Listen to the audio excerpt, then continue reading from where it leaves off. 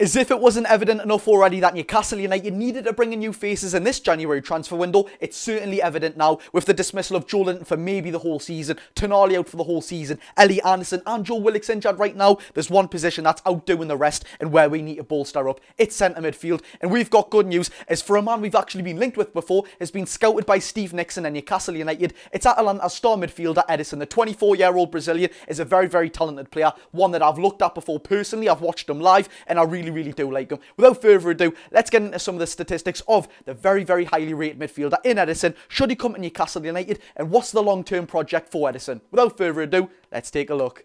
Read then lads and lasses, how we're doing and welcome back to the channel. Yes, I'm pretty sure you can agree if there was one position we actually needed to buy depth in right now, it may be a CDM or a centre mid. Like I said, the dismissals of Tonali, Jolin and Elliot Anderson and Joe Willock. Joe Willock's actually just put a sort of Instagram story up saying him and Matty Targett are very close to return. So that's good news. But yes, centre midfield, a very big position for Newcastle United. Newcastle's actually just recalled two midfielders who were out on loan. Isaac Hayden, as we already do know, come back from Standard Liège and we've just recalled another player, Joe White, the 21-year-old youngster, I believe he's 21 years old, from Crewe Alexandra, I nearly forgot that. I thought it was Exeter City, but we recalled him from League Two side Crewe Alexandra, where he's got three goals and two assists for the season. Now, when you think of it, look, he's a 21 year old kid. Uh, he's maybe not a kid, but he's a 21 year old. He's in League Two. Is he actually going to play for Newcastle? Well, Eddie Howe has said that he's going to assess his ability and see where he can go from there. Look, I don't want to hack the kid because he's a Newcastle player and he's probably a Geordie, but if we are looking at League Two quality midfielders right now, it doesn't look good for Newcastle. But we have got good news that we are looking at a Europa League level midfielder who's played five times in the Europa League this season, or four times in the Europa League this season, or four or five, I believe it is.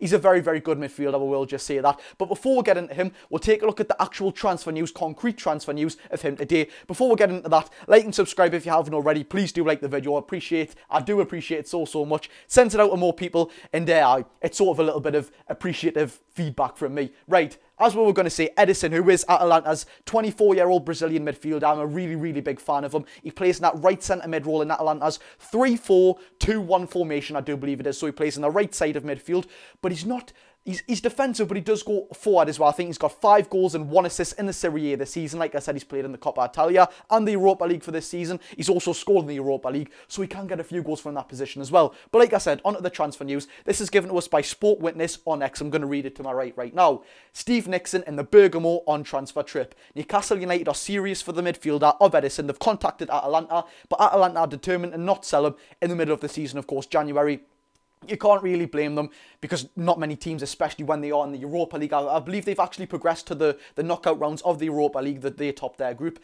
and they're in the Coppa Italia, and they're doing half decent in the Serie A. They wouldn't want to lose one of the best players in January, and uh, it's it's pretty you, you can't really blame them, can you? I mean, we wouldn't want to lose Bruno, for example, in the middle of, of January. That's their sort of Bruno. This was also given to us by Sky Sports. They didn't say nothing on the matter, but Sky Sports News have said that it's just a, a, little sort of summary of Ederson and Newcastle United. So yet again, they are actually confirming that Newcastle have been linked with Ederson. And this is, by the way, not just a recent link. We have been linked with Ederson quite a while ago. So it's pretty good that the, the club is long admirers of Ederson. He's not just come up. It's not a sort of desperate... Um, what's a, sort of like a rushed transfer, if you know what I mean, or he's the last option, quickly get him, we need to pay up with all the transfer money that we have got left due to financial fair play. No, the club have been a very long admirer of him for quite a long time. That is also confirmed here.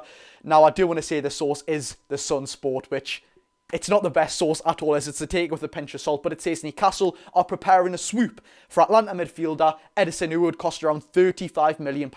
Now, look, can we pay £35 million? And I've seen a fair few people say everyone's sort of building this FFP up as if we're restricted to having like five five million pounds or something when we've actually got a lot more. For me personally, if Atalanta are willing to sell Ederson, I believe it's going to cost a lot more than 35 million pounds, especially in the middle of a season. Maybe if it was in the, the start of the season, 35 million pound would be a very good price tag. I believe they bought him for 21 million pound from Salernitana, which wait for it. As you all know, this is where I've watched them. And uh, yeah, Salernitana, I visited the city of Salerno and I love that team so so much. I've made friends over there, of course. My Italian friends, and I'd love to see a player who's played for Salernitana come to Newcastle, but the sentimental side side of it is not going to get me. It is his ability wise, and he's a very, very good midfielder. Like I said, he drops into that right centre mid midfield role, and he plays in a 3-4-2-1, so he's still got three people ahead of him, and he's still popping in a fair few goals, more than any of our midfielders have scored this season. Now, the reason I said at the start of the video, and sorry for that cut off there, my recording actually stopped. I do apologise for that. I normally like letting the video sort of flow through one sort of thing without stopping talking. We'll just carry on with say. I believe it just gives a better experience overall rather than like chop, chop, chop, chop, if you know what I mean. So what I was going to say at the start of the video, I did say, what does this mean for Ederson's future at Newcastle? The sort of long-term future, is he going to be here forever? Now, in my opinion, it leaves him in a very, very sticky situation. Like I said at the start of the season, centre midfield is probably and arguably one of the most packed positions we've ever been and packed with quality in like the, the best sort of covered area we've had in Newcastle's history in a very, very long time. Just look at some of the calibre of players, not in any sort of order, but I'll try and rank them from the lowest to the highest. I don't want to sort of offend anyone. But as of right now, since we've got Joe Willock and uh, Joe White and Isaac Hayden back from loan, Joe White, Isaac Hayden, this is currently right now, of course, I do know a couple are, are injured.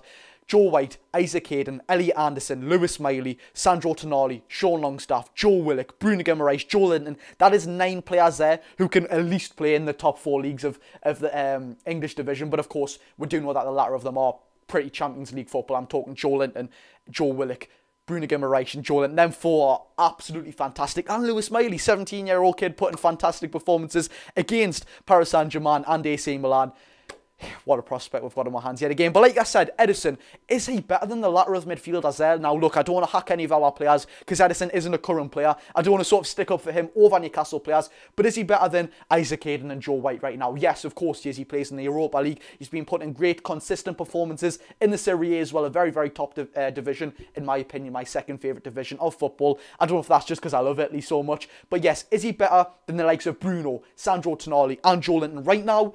I wouldn't say he's better than any single one of them.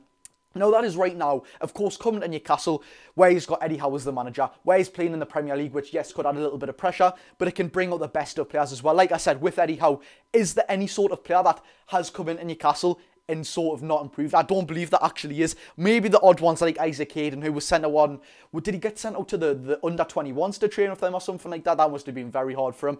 Uh, Ryan Fraser, another one who I believe got sent to the under-21s. Maybe them two are the sort of kind of best of a bad bunch or whatever you want to call it. Just ones that didn't work out for Eddie Howe. But Ederson, I believe, he comes to Newcastle. He plays in a 4-3-3 formation with a pivot. And I, I, know many people will be saying, well, is he a six? Can he play in that six role? Because let's be real, we've got many fantastic eights. And Bruno, who also is probably better in an eight. Joelinton, Sandro Tonali, Joe Willock, Ellie Anderson, and Lewis Miley. Every single one of them are definitely better in an eight. So are we going to buy another eight rather than getting a six, if you know what I mean? I do believe Ederson's position is undoubtedly better as an eight. Like I said, he plays right centre mid for uh, Atalanta. I was going to say AC Milan there, but I plays in a right centre mid position for Atalanta in a four in a three four two one uh, formation. So he's not a six. Can he play as a six? I'm going to be honest, I'm not going to act like I can. No, I'm not going to guess. I've never seen him play in a six position in my life. I've never searched up any sort of statistics. If it's something that I do know, I will search up right after this video is recorded and I'll put it into the comments. If not, then he hasn't played in there before. But I do understand what some fans will say, why are we're going to buy another eight when we've nearly got, what, seven great eights there and we've not got one good six whatsoever. Just honest to God, bring back the likes of Jonjo Shelvey at this rate. Jesus. But there we have it, lads. There is the video. Would you like to see the Atalanta 24-year-old Brazilian, and I am going to say this fantastic midfielder come to Newcastle United? And what is the top whack you would pay from, like I said, Sun Sport Sun Sport, take with a pinch of salt, said that he's going to cost £35 million. Now, in the middle of a season when he's one of their crucial players, when they're in the knockout rounds of the Europa League, like I said, Serie A and Coppa Italia, do they really want to sell him? I don't know. I think there will be very, very sort of being a burden on that. I think they're going to be very hard to actually get them off the hands. But if it's something we can do, I'm going to be definitely in favour of that deal. Like and subscribe if you haven't already. I've been Geordie Josh. Do you know what it is, lads? I'm not going to record anything, but I might put up a short. I'm going to the Newcastle United versus Bournemouth under 18s game in the youth FA Cup, I believe it is, at 7pm tonight. So if you see us, come and say hello. I've been meeting a lot of yous recently and I really do appreciate that. I love meeting yous all in real life. Like I say, I'm just a down-to-earth kid. I speak to every single one of yous. And uh, I thank you very much, lads. See you later. Go and enjoy your day.